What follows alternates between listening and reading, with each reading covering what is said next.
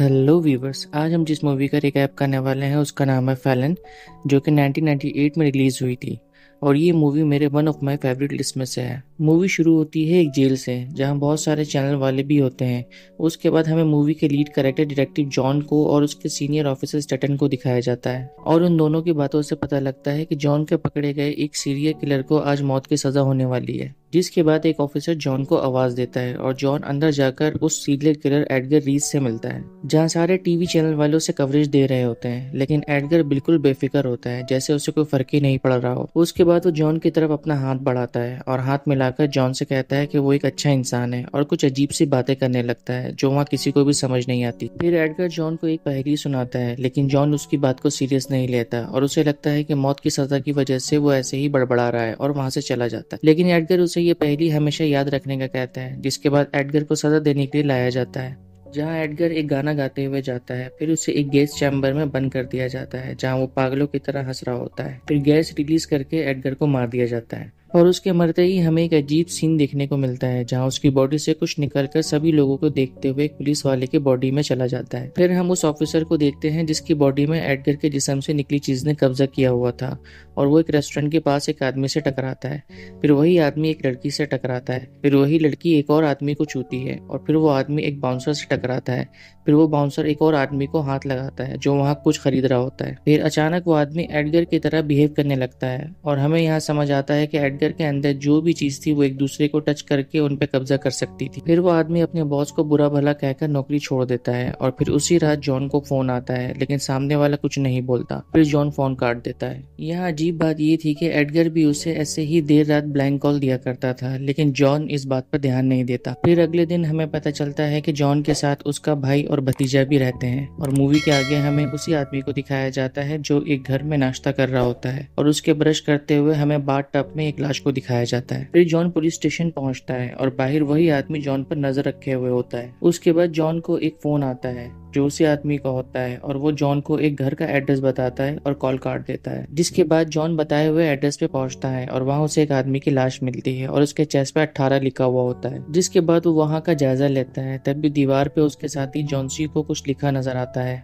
जिसे जॉन देखकर काफ़ी हैरान होता है, क्योंकि ये वही पहेली थी जो एडगर मरने से पहले उसे सुनाया था। जॉन को लगता है एडगर का कोई साथी है जो ये सब कर रहा है, क्योंकि इस शख्स की मौत भी उसी तरीके से हुई थी जिस तरह एडगर किया करता था और ये काफ़ी हैरानी की बात थी। जिसके बाद जॉन अपने साथी से उस पहेली के बारे में डिस्कस करता है। जहाँ उसे पता चलता है कि एडगर का इशारा उसी पुलिस स्टेशन में रखे एक पुलिस नेम लिस्ट के बोर्ड की तरफ़ था, जहाँ उस बोर्ड से दो नामों के बीच से एक नाम गायब था। लेकिन वह किसका नाम था और क्यों हटाया गया, ये किसी को मालूम नहीं था, जिसके बाद जॉन इंटरनेट पर रिसर्च करता है। और वहाँ उसे 1965 के एक पुलिस ऑफिसर रॉबर्ट मिलानो का पता चलता है, जिसने अपने घर में ही खुदकुशी कर ली थी। जिसके बाद अपने सीनियर ऑफिसर स्टेटन से मिलकर उसे रॉबर्ट मिलानो के बारे में बताता है, क्योंकि स्टेटन ने रॉबर्ट के साथ काम किया था, लेकिन वो जॉन को कुछ भी नहीं बताता। और इन्वेस्टिगेशन बंद करने का कहता है।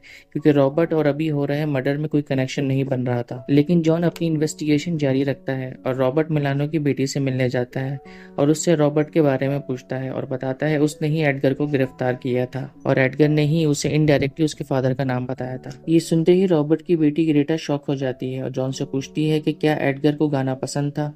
क्या उसने मरने से पहले तुम्हें छूने की कोशिश की थी, जिसका जवाब जॉन हाँ में देता है? और गिरीटा इस शर्त पे बताने का कहती है कि उनके बीच जो भी बात होगी, वो उन दोनों तक ही रहेगी। जिसके बाद गिरीटा जॉन को बताती है कि उसके फादर ने कातिल को पकड़ा था, लेकिन कातिल को सजा होने के बाद भी वैसे ही खून हो रहे थे। फिर उन सब कत्ल का इल्ज़ाम उसके फादर पे लगाया गया, क्योंकि सब कत्ल के सबूत उनके फादर के खिलाफ थे। जिसके बाद उन्हें जॉब से निकाल दिया गया और डिप्रेशन में उन्होंने खुदकुशी कर ली, और पुलिस डिपार्टमेंट का नाम खराब ना हो, इसलिए उसके फादर के केस को दबा दिया गया। लेकिन गिरीटा कहती है कि उसके फादर बेकसूर थे और बताती है कि उसे पता था असली कातिल कौन है। लेकिन उससे ग्रेटा को खतरा था, इसलिए वो कातिल का असली नाम नहीं बताती। फिर जॉन वहाँ से चला जाता है और रास्ते में वही आदमी उसे मिलता है, लेकिन वो जॉन को कुछ नहीं कहता। इसके बाद वो रेलवे स्टेशन पे एक और आदमी से टकराता है। वहीं जॉन को अभी भी रात में ब्लैंक कॉल आ रहे थे, जिसके बाद हम उसी आदमी को देखते हैं, जो अपने ऑफ़िस पे कॉल करता है, लेकिन उसे काम से निकाल दिया गया था और उसे याद ही नहीं था कि पिछले दो तीन दिन में उसने क्या किया था। जिसके बाद इसके गेट पे नॉक होता है और गेट पे वही आदमी होता है, जिससे ये आदमी स्टेशन पे टकराया था और वो इसे जहर का इंजेक्शन देकर मार देता है। जिसके बाद जॉन को दोबारा फ़ोन आता है और सामने वाला एक एड्रेस बताता है और वहाँ पहुंचकर जॉन को एक और लाश मिलती है, जिसके चेस्ट पे दो लिखा होता है और खून बिल्कुल पहले की तरह हुआ होता है। और अगले दिन जॉनसी जॉन को बताता है कि हैरत की बात है। इससे पहले जो कत्ल हुआ था, वो इसी शख्स ने किया था, क्योंकि इसके फिंगरप्रिंट के निशान हमें वहाँ मिले थे। लेकिन इन दोनों को लगता है ये किसी तीसरे शख्स का काम है, जिसके बाद जॉन रॉबर्ट मिलानो के घर जाता है, जहाँ उसका रास्ता एक बिल्ली काट देती है। जिसके बाद वो घर के बेसमेंट में जाता है, जहाँ उसे बहुत सारी किताबें मिलती हैं जो डायमंड के बारे में थी, और वहाँ उसे दीवार पे एक नाम भी मिलता है अजाजल जिसके बाद वो फ़ौरन गिरेटा के पास जाता है और उसे सब चीज़ों के बारे में बताता है, जिस पर गिरेटा उसे होशियार करती है कि अगर अपने और अपने चाहने वालों की भलाई चाहते हो तो इस केस को छोड़ दो। लेकिन जॉन को इन सब बातों पर यकीन नहीं था, लेकिन गिरेटा डरती थी, इसलिए वो कुछ और नहीं बताती और वहाँ से चली जाती है। जिसके बाद जॉनसी एडगर के सजा के टाइम पे बड़बड़ाने वाले अल्फाजों को ट्रांसलेट करवाता है, ताकि कुछ पता चल सके। और जो ज़ुबान वो बोल रहा था वो 2000 साल पुरानी थी, और वो कह रहा था, मैं सिर्फ़ तुमको छू कर तुम्हारे अंदर नहीं जा सकता, लेकिन मेरे मरने के बाद जा सकता हूँ, लेकिन मैं ऐसा नहीं करूँगा, मैं तुम्हें पूरी तरह बर्बाद करूँगा। जिसका मतलब एडगर आखिरी वक्त में जॉन को धमकी दे रहा था, जिस पे जॉन हंसता है और उसे लगता है कि एडगर मरने के बाद उसका क्या ही बिगाड़ सकता है। और दूसरे दिन जॉन स्टेशन में एडगर की डॉक्यूमेंट्री देख रहा होता है और उसे ऐसा फील होता है कि उससे कोई देख रहा है। जब वो विंडो की तरफ़ देखता है तो वहाँ एक बिल्ली होती है। फिर वो बिल्ली वहाँ से निकलकर पुलिस स्टेशन में आ रहे एक टैक्सी ड्राइवर को टच करती है। फिर वो टैक्सी ड्राइवर अंदर आता है और दूसरे आदमी को टच करता है। फिर वो आदमी एक औरत को टच करता है। फिर वो औरत दूसरे औरत को, फिर वो औरत जॉन के एक साथ ही लाओ को टच करती है। और लाओ जॉन के पास आता है और पूछता है कि उस दिन उसके पास एक नक्शा था, वो कहाँ गया था, लेकिन जॉन उसे कुछ नहीं बताता। फिर लाओ अचानक वही गाना गाने लगता है जो एडगर मंगने से पहले गा रहा था। फिर लाओ दूसरे आदमी को टच करता है। फिर वो आदमी गाना गाने लगता है। फिर वो दूसरे को टच करता है और वो भी गाना गाने लगता है और ये देखकर जॉन उसके पीछे जाता है। और नीचे जाने के बाद जॉन उस ऑफिसर से गाने का पूछता है, लेकिन उसे कुछ याद नहीं होता। तभी एक और आदमी जॉन को घूरते हुए बाहर जा रहा होता है और जॉन उसका पीछा करता है और उसे अजाजिल के नाम से पुकारता है। तभी एक औरत रुकती है और उसे कहती है, उसे ये मिलानो के घर से पता लगा होगा, लेकिन तुम्हें पूरी बात नहीं पता। उसके बाद वो एक साथ वाले आदमी को टच करती है और वो आदमी उसे धमकी देता है। उसके बाद अजाजिल अलग अलग लोगों को टच करके जॉन को डराता है। जिसके बाद वो दोबारा गिरीटा के पास जाता है और इन सब के बारे में बताता है, क्योंकि उसे यकीन ही नहीं हो रहा था जो कुछ उसके साथ हुआ था। जिस पर गिरीटा उसे बताती है, कुछ ऐसी चीज़ें होती हैं जिनको एक्सप्लेन नहीं किया जा सकता। जिस तरह जीसस का वजूद है, उसी तरह डायमंड का भी दुनिया में वजूद है, लेकिन उनका कोई जिसम नहीं होता, तभी वो दूसरों के जिसम में रहते हैं। पहले तो जॉन को यकीन नहीं आता, लेकिन जो कुछ उसके साथ हुआ था, उसे झुटलाया भी नहीं जा सकता था। जिसके बाद जॉन को समझ आता है, असल में वो सारे कत्ल एडगर ने नहीं, बल्कि शैतान ने किए थे। जॉन गिरीटा से पूछता है कि वो उसके साथ ऐसा क्यों कर रहा है, जिस पर गिरीटा उसे बताती है कि एडगर मरने से पहले उसने जॉन से हाथ मिलाया था। क्योंकि वो उसके जिसम में दाखिल होना चाहता था। लेकिन तुम्हारे नेक दिल की वजह से वो नहीं जा पाया। इसलिए वो ये सब कर रहा है जो तीस साल पहले उसने मेरे फादर के साथ किया था। और यहाँ जॉन को ये भी पता चलता है कि गिरीटा उसे ख़त्म करने की तैयारी भी कर रही थी, जिसके बाद गिरीटा वहाँ से चली जाती है, लेकिन अजाजिल उन दोनों को देख लेता है और गिरीटा का पीछा करना शुरू कर देता है, जो बात गिरीटा को फील हो जाती है और अचानक एक आदमी उसके पास आ जाता है और उसे अपना हाथ देता है, लेकिन गिरीटा उससे हाथ नहीं मिलाती, जिस पे अजाजिल को पता लग जाता है कि गिरीटा को उसके बारे में पता है। फिर किसी तरह गिरीटा वहाँ से निकल जाती है, लेकिन अजाजिल वहाँ लोगों को टच करते हुए गिरीटा का पीछा करने लगता है, तभी वो एक टैक्सी में बैठकर वहाँ से भागने में कामयाब हो जाती है। जिसके बाद जॉन का सीनियर स्टेटन उसे बुलाता है और उससे इंक्वायरी करता है क्योंकि उसके डिपार्टमेंट को जॉन पे शक होता है, क्योंकि उसका कॉइन जो अक्सर अपने पास रखता था दूसरे मर्डर स्पोर्ट पे मिलता है। जिस पे जॉन स्टेटन को समझाने की कोशिश करता है, लेकिन वो उसकी बात पे यकीन नहीं करता और घर जाने का कहता है। जब जॉन घर वापस आता है तो बाहर उसका भतीजा अपने दोस्त के साथ खेल रहा होता है और जब वो अपने घर के अंदर जाता है तो उसके भाई की आँख में चोट लगी होती है और पूछने से पता चलता है कि उसे सैम ने मारा है। तभी जॉन को लगता है एजाजल सैम के अंदर है और वो सैम से जाकर पूछता है, लेकिन उसे कुछ याद नहीं होता। तभी वो उसके दोस्त के पास जाता है, जो बाहर बैठा हुआ था और जॉन उसे अपनी फैमिली को छोड़ने का कहता है। लेकिन अजाजल नहीं मानता और वहाँ से भागने लगता है और जॉन उसका पीछा करता है। तभी वो बच्चा एक आदमी से टकराता है और अजाजिल उस आदमी में चला जाता है। और वो आदमी एक कार से गन निकाल कर जॉन को शूट करने लगता है और दोबारा कार में जाकर अपने चेस्ट पे कुछ लिखता है, जिसके बाद वो जॉन को धमकी देने लगता है और जॉन उसे गन नीचे करने का कहता है, लेकिन वो गन नीचे नहीं करता और मजबूरन जॉन को उसे शूट करना पड़ता है और फ़ौरन ही अजाजिल उस आदमी से निकलकर सामने एक औरत में चला जाता है और गाना गाने लगता है और जॉन से कहता है कि उसे मारना इतना आसान नहीं जिस पे जॉन उसे खुद मारकर ये खेल खत्म करने का कहता है। लेकिन अजाजिल को इन सब में बहुत मज़ा आ रहा है, ये बोलकर वो वहाँ से चला जाता है और जॉन बहुत ज़्यादा शर्मिंदा हो जाता है क्योंकि उसके हाथों एक बेगुना आदमी मारा गया था, जिसके बाद अब पुलिस वाले पहुँच जाते हैं और स्टेटन जॉन को बताता है कि ये बस एक स्कूल टीचर था, जिसका कोई क्रिमिनल बैकग्राउंड नहीं था और सब जॉन को ही कातिल समझने लगते हैं। मरने वाले आदमी के चेस्ट पे ए पी ओ लिखा होता है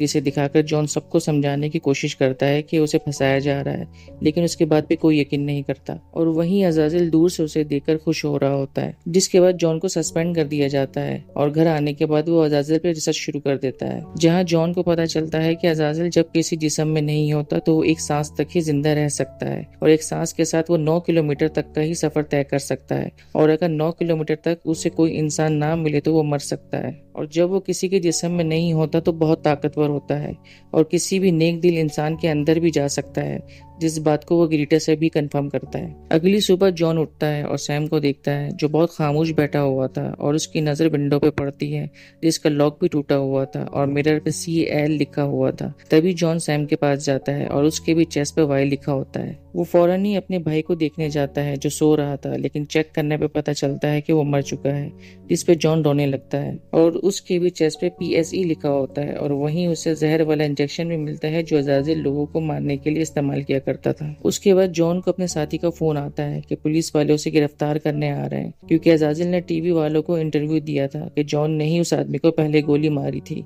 जिससे सेल्फ डिफेंस की जगह जॉन पर मर्डर का चार्ज लग जाता है। जॉन फ़ौरन ही अपने और सैम के कपड़े बैग में डालता है। और जहर वाला इंजेक्शन वहाँ से लेके विंडो से भागने लगता है। तब तक पुलिस वाले भी वहाँ पहुँच चुके थे और ये सब दूर से अजाजिल देखकर उसकी हालत में हंसने लगता है। रास्ते में जॉन उन सब अल्फ़ाबेट को मिलाकर एक वर्ड बनाता है और पास ही बैठे एक नन से उसका मतलब पूछता है जिससे वो बाइबल का हवाला देकर कहती है कि इसका मतलब है, अच्छाई अब खत्म होने वाली है और हर जगह बुरी आत्माओं का कब्जा होगा। और पुलिस से बचते बचाते वो दोनों एक जगह छुप जाते हैं और रात होते ही गिरिटा के पास चले जाते हैं, क्योंकि उनके पास कोई और जगह नहीं थी। और वहीं उसे गिरिटा के घर पे उसके फादर के घर की तस्वीर नज़र आती है और उसे एक आइडिया आता है जिसके लिए वो गिरीटा को सैम को लेकर बहुत दूर जाने का कहता है, जिसके बारे में उससे भी पता ना हो। जिसके बाद वो कार से जाने लगता है और अपने साथी को फ़ोन करके कहता है कि वो बहुत दूर जा रहा है, जहाँ वो घंटों तक सुकून से झरनों को देखेगा, क्योंकि ये लाइन अजाजिल ने जॉन को बोला था। दरअसल वो अजाजिल को बता रहा था कि वो कहाँ जा रहा है, क्योंकि उसे पता था अजाजिल उसे सुन रहा होगा। फिर जॉन गिरीटा के फादर के घर पहुँच जाता है और कार की चाबी को दूर फेंक अजाजिल का इंतज़ार करने लगता है। फिर रात में जॉन को वहाँ कोई आता हुआ दिखता है जब जॉन बाहर आता है तो वहाँ स्टेटन होता है और जॉन स्टेटन को अजाजिल समझकर बातें करने लगता है, लेकिन स्टेटन नॉर्मल बिहेव करता है और उसे उसके साथ चलने का कहता है। तभी दूसरी तरफ़ से उसका साथी जॉनसी निकल कर आता है, जिसे देखकर जॉन हैरान हो जाता है और पूछता है कि और कितने लोग हैं यहाँ? जिसमें स्टेटन बताता है कि बस हम दोनों से लेने आए हैं। अब जॉन कंफ्यूज हो जाता है कि इन दोनों में से अजाजिल कौन है, क्योंकि दोनों ही नॉर्मल बिहेव कर रहे थे जिस पे जॉनसी स्टेटन को जॉन को यहाँ से भगाने का कहता है। और नकली रिपोर्ट बनाने का कहता है कि वो इन्हें यहाँ मिला ही नहीं था, लेकिन सेटन नहीं मानता, जिस पर जॉनसी उसे गोली मार देता है। और जॉन को भागने का कहता है और फिर उस पर भी गोलियाँ चलाने लगता है, जिससे बचकर जॉन घर के अंदर छुप जाता है और बाहर जॉनसी वही अजाजिल वाला गाने गाने लगता है, जिसके बाद अजाजिल घर के अंदर जाता है और उन दोनों की हाथाबाई शुरू हो जाती है और जॉन उसी की गन से जॉनसी को ही गोली मार देता है, जिस पे अजाजिल जॉन से पूछता है कि उसने खुद को मारने क्यों नहीं दिया जिसपे जॉन कहता है कि उसे वक्त चाहिए था, जो बात अजाजिल को समझ नहीं आती। फिर जॉन उसे बताता है कि ये ऐसी जगह है जहाँ मीलों तक कोई इंसान नहीं है और एक सांस के अंदर वो नौ किलोमीटर तक किसी इंसान के अंदर नहीं जा सकता, जिसके बाद वो सिगरेट निकालता है। लेकिन अजाजिल कहता है, तुम तो हो, जिस पे जॉन कहता है कि इस सिगरेट में मैंने वही जहर डाला है जिससे उसने उसके भाई को मारा था। फिर जॉन सिगरेट पीने लगता है और अजाजिल अपनी मौत से डरने लगता है और फिर जॉन अजाजिल का ही गाना उसके सामने गाने लगता है, जिसके बाद जॉन जॉन्सी को गोली मार देता है और जॉन की भी हालत जहर की वजह से खराब होने लगती है। तभी अजाजिल जॉन की बॉडी में आता है और कार की चाबी ढूँढने लगता है और कार की चाबी उसे मिल भी जाती है, लेकिन कार तक पहुँचते पहुँचते जॉन भी मर जाता है। और इसी तरह जॉन अजाजिल को मारने में कामयाब होता है, लेकिन जॉन अपनी रिसर्च में एक चीज़ नहीं पता कर पाता कि अजाजिल इंसान के अलावा जानवरों में भी जा सकता है। और उसी वक्त सामने वाले घर से एक बिल्ली निकलकर जॉन के पास आती है। और इसके बाद बहुत सारे लोगों को दिखाते हुए हमें समझाया जाता है कि दुनिया में जब तक अच्छाई रहेगी, तब तक बुराई भी रहेगी और मूवी यहीं पे खत्म हो जाती है। अगर आपको ये मूवी और मेरी एक्सप्लेनेशन पसंद आई है तो कमेंट में ज़रूर बताइएगा और चैनल को सब्सक्राइब कीजिएगा। See you in next video